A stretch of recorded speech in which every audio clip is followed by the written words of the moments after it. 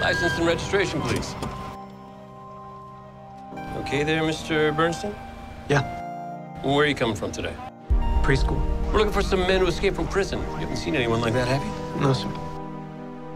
Did you pop the trunk for me? What?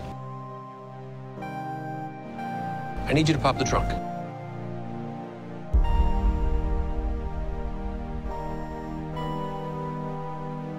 Mr. Bernstein, so sorry to take up your time today. Thank you for your cooperation. Have a nice day.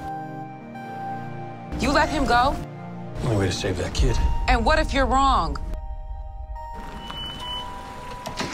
We're clear.